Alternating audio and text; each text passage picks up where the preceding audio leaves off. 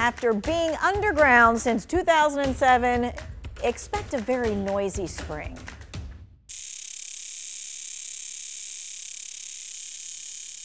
Oh, the sweet sound of the cicadas. in a couple of months, you're going to be hearing that sound again for the first time in over 200 years. Two broods of cicadas will be emerging together.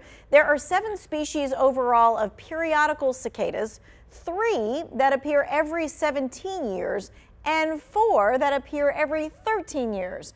Smaller groups of these species called broods will be spending those durations underground where they will spend time eating and growing before they come out of the ground to become adults and so that you can listen to them, of course. Cicada Safari says people can expect to see this year's broods in late April and early May. North Carolina, get this, we'll see one of the broods, thankfully. That's it, just one. That's one too many. Uh, well, It's you the all look. missed. Well, he still has the. Oh, I can't. I was expression.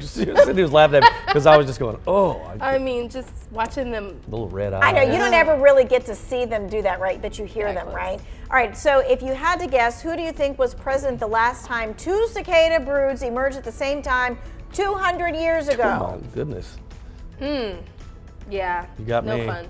No fun. That's way before me. I can't guess that. No fun at President all. helped orchestrate the Louisiana Purchase. We have to chew on that for a minute. Mm-hmm. We'll get back Louisiana with you. Purchase. Do you know the answer? I know the answer. I'm gonna let you think on it for a minute. Oh, will While you do remember the to bring it back up? I'll, I'll remember. Okay. All right.